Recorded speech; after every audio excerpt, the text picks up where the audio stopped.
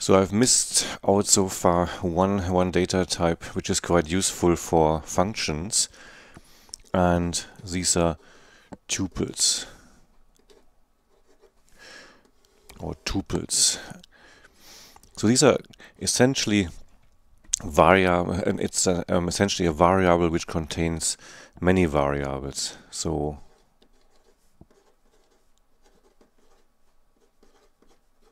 one variable which contains many variables.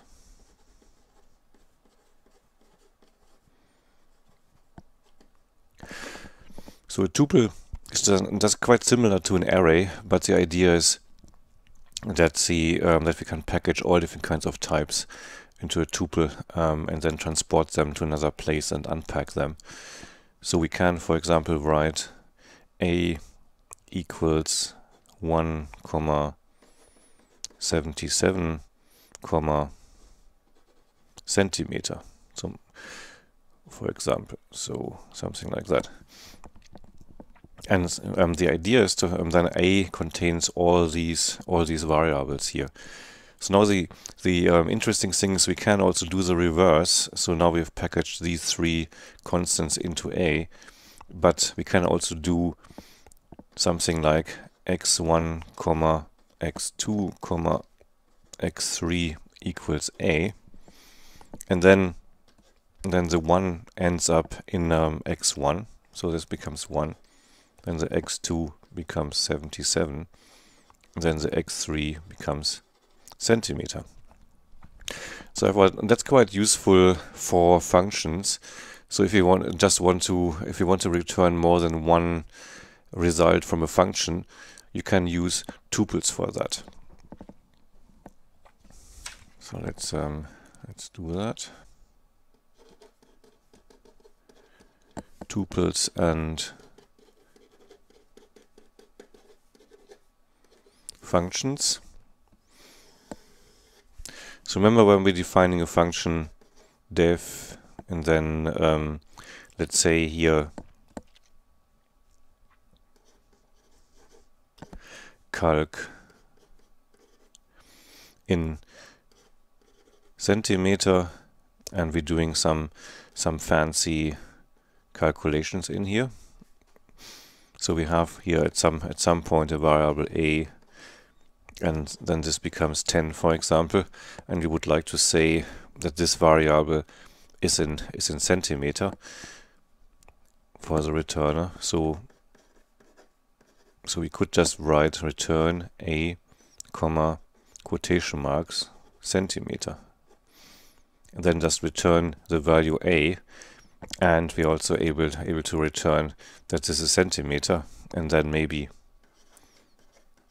further further down we have something like calc in inch. And there we have a variable called b equals 11 and then return b comma inch. Quite a stupid example but the um, the point is here that here I'm, I'm returning two values at the same time.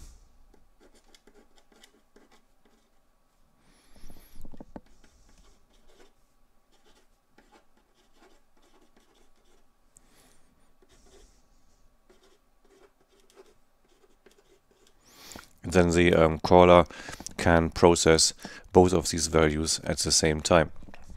Okay, let's um, let's see how this how, how this works. Um, okay, so where's Spyder? There's Spyder. So let's just create first a tuple here. So a equals 4, comma 5, comma, and then centimeter. So let's have a look what's inside. So we see here 4, 5 in centimeter.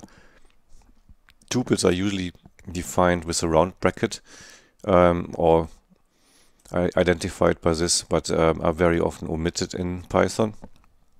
and so therefore therefore we could have also written this with a um, with a round bracket and so and so if I if I want to distribute this now into different variables I can write x3 comma a and then so, so then now x1 is in 4 then the 5 is there and then in x3 we've got the string centimeter. So therefore we could we could do this in a um, in a function here. Def calc. And then here let's say we have a variable 10 and we, we want to return this want to get the caller now that this is in in centimeter. So we also return this as a as a second second argument here. And so and so therefore if we if we do now um, here a function call calc and we and we call it here with a comma b. I call this here also x1 comma x2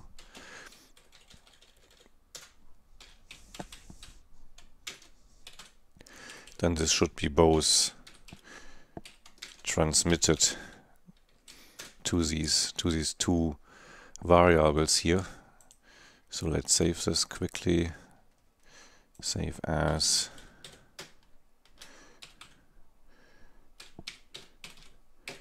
tuple demo and um, let's let's run this.